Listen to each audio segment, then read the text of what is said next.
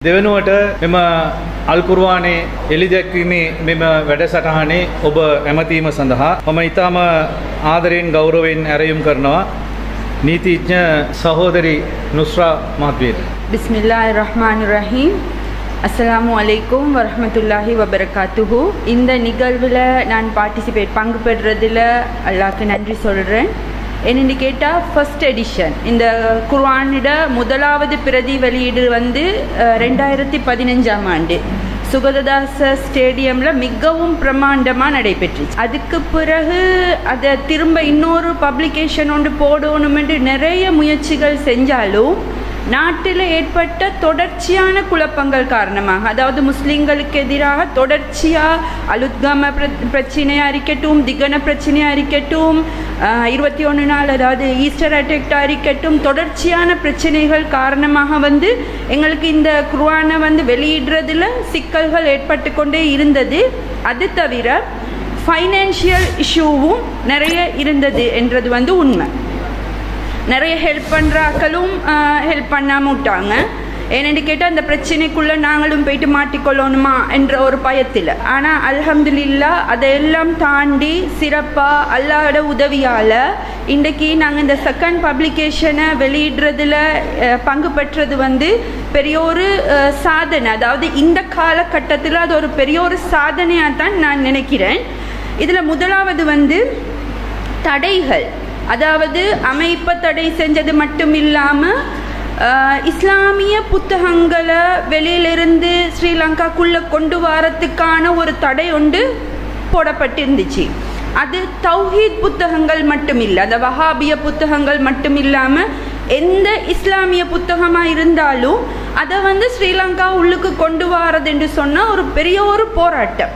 டிஃபென்ஸில் clearance எடுக்கணும். அது மாதிரி இல்லாமல் எத்தனையோ இடத்துல கிளியரன்ஸ் எடுத்து அது ச சரியாக வந்தால் தான் அந்த ஒரு புத்தகத்தை கொண்டு வரக்கூடியது இருந்துச்சு. அப்படி இருக்கிற நேரம் இப்போ அண்மையில் நீங்கள் எல்லாரும் பார்த்துருப்பீங்க விஜயதாச ராஜபக்ச நீதி அமைச்சர். என்ன சொன்னார்? திடீரென்று யாரு இந்த வஹாபிய புத்தகங்களை வந்து ஸ்ரீலங்காவுக்கு கொண்டு வரத்துக்கு தடை விதிக்க சொன்னது என்றதை வெளியிட்டாரு. அப்போ எல்லாமே எங்களுக்குள்ளே தான் இருக்குது. முஸ்லிம்களுக்குள்ளே தான் எல்லாமே இருக்குது. ஒருத்தர் முன்னேறுறேன்னு சொன்னால் அவங்கள எங்க தட்டி உடையலும் என்று பார்க்கறதுல முக்கியமான ஆக்கள் தான் அப்படியான ஒரு வேலையை செஞ்சாங்க. ஆனால் அல்லாட ஏற்பாடால் எவ்வளோ சிரமங்களுக்கு மத்தியில் வந்து இந்த குர்ஆன் பிரதிகள் வந்து வெளியிடப்பட்டிருக்குது.